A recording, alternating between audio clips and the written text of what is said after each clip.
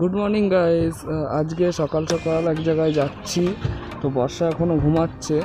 তো আমি কোথায় যাই, কি করি পুরো ভিডিওটা দেখো। আর যারা যারা এখনও সাবস্ক্রাইব করনি, সবাই সাবস্ক্রাইব করো। আর আজকে খুব ভালো লাগছে সকালবেলা উঠে ঘুম থেকে। আর আমি এখন চলে এসেছি একজনের বাড়ির সামনে। আমার একটা ভাইয়ের বাড়ির সামনে। তো ওকে নিয়েই যাব আমি। তো আসলে কি বলো তো কিছু কেনাকাটার আছে। কালকে বিশালে গিয়েছিলাম, তো বিশালে সেই রকম জিনিস পাইনি আমি যেটা কিনবো আর কি।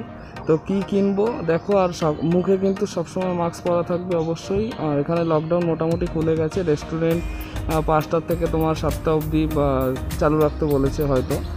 তো সব কিছু আস্তে আস্তে খুলে যাবে। কিন্তু মানুষ যদি তোমার মাস্ক না পরে ঠিক মতো চলাচল না করে, বিধি না মেনে, তাহলে তো আবার লকডাউন দিতেই হবে, কিছু করার নেই। তো দেখো হেলমেটও নিয়ে এসেছি আমি। তো যাওয়া যাক, চলো।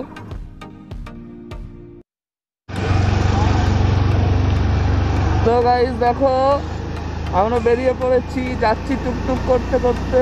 এই যে পিছনে আমার ভাই।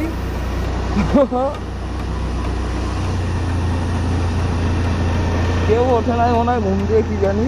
সবাই ওই লকডাউনের মধ্যে ঘুমাচ্ছে বেশিক্ষণ।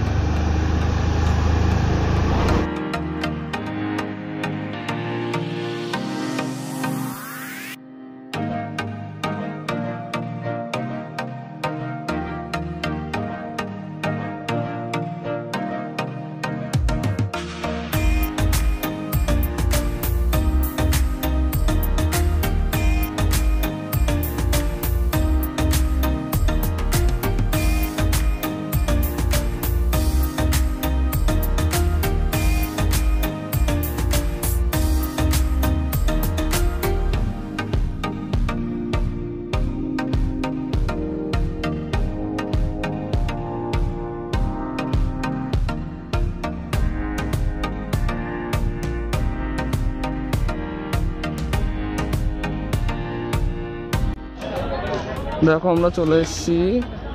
তো কোথায় এসেছি বুঝতেই পেরেছ? দোকানপাট কিছুই বসেনি। বেশিরভাগ অনেক দোকান থাকে লকডাউনের জন্য এত দোকান বসেনি এখন।